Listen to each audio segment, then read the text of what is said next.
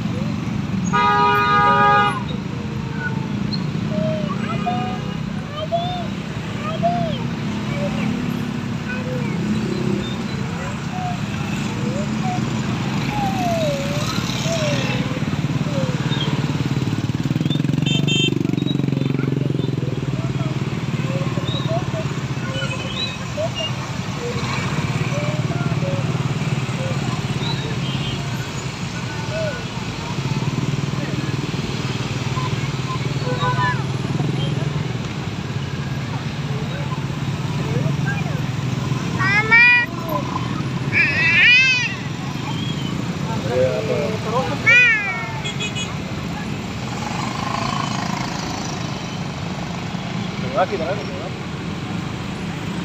Ahí, ¿verdad?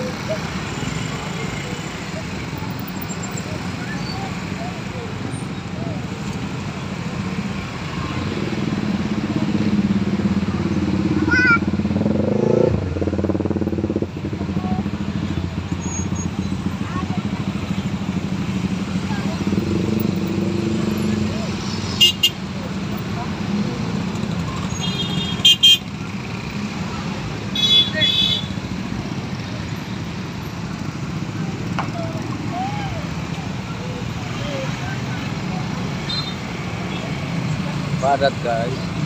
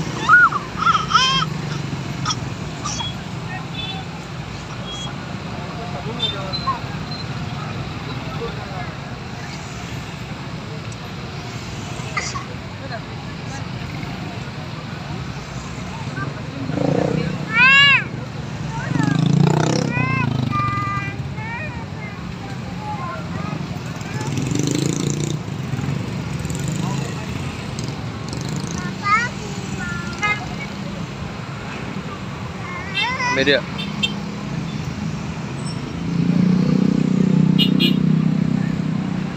Oke guys.